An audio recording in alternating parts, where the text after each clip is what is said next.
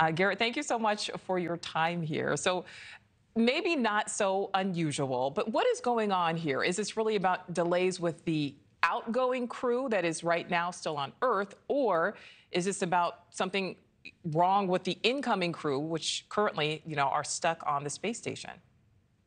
Well, I, I, definitely want to say this: it's nothing wrong with the crew members themselves. They're all very fine individuals, and they're they're doing great.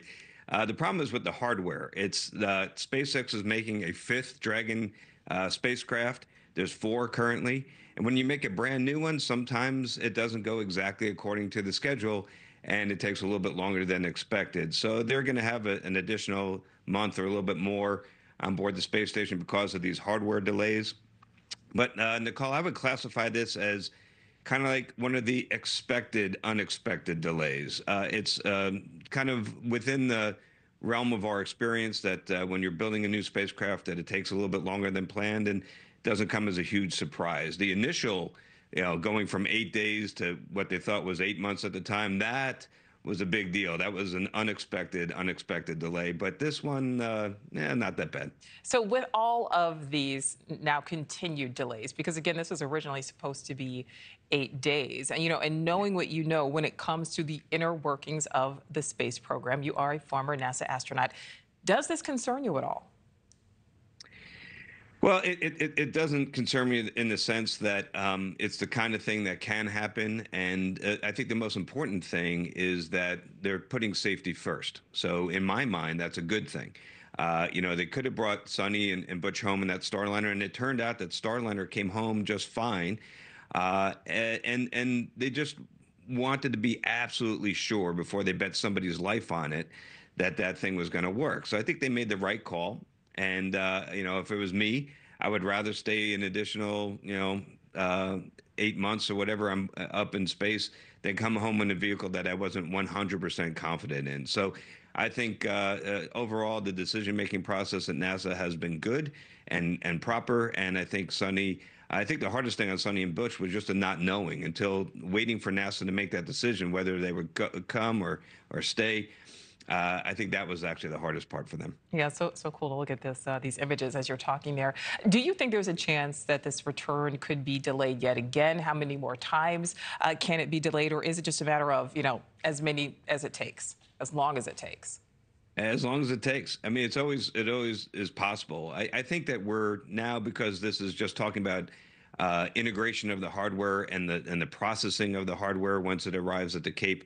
These are kind of manageable problems, schedule problems. I don't anticipate this will be like another eight months on top of this or anything crazy like that. Um, there, there, you know, I, I, think we're we're looking at April at the latest, and you know, maybe sliding another month tops. But I, I don't think we're looking at like adding another half a year or anything like that. All right, now I have to ask you this question. Natasha, who is working on this story, doing some research, uh, has, has learned that apparently there are seven sleeping pods on the International Space Station. At one point, they were up to 10 people on board the ISS. So we're just asking you, Garrett, explain how that works. Seven pods, 10 people. Well, it's it's nice having your own pod because you could put your pictures up and you could like have a little privacy and all that. But it's no big deal. I, when I was up there, I got bounced around like crazy. Uh, I, I, slept in like four or five different compartments while I was up there, and I never really had a permanent home, and that was fine. In fact, I kind of enjoyed it. It was like kind of, you know, going on vacation to another module.